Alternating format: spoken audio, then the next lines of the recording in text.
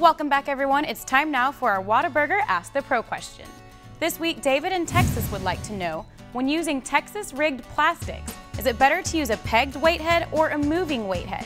For some insight, we asked fishing legend Guy Eaker. I peg my weight when I'm fishing to flip any kind of structure because you don't want your weight to fall down one side and your worm on the other.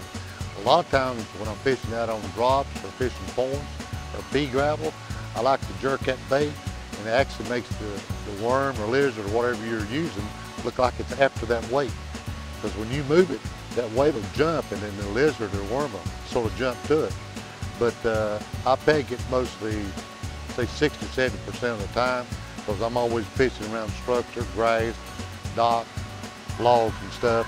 And I don't want the weight falling on one side, you know, away from the worm. I want it to look just like it is part of the worm or lizard. Thanks, Guy. If you need help from one of the pros, go to southwestoutdoorsreport.com, follow the Ask the Pro link, and submit your information.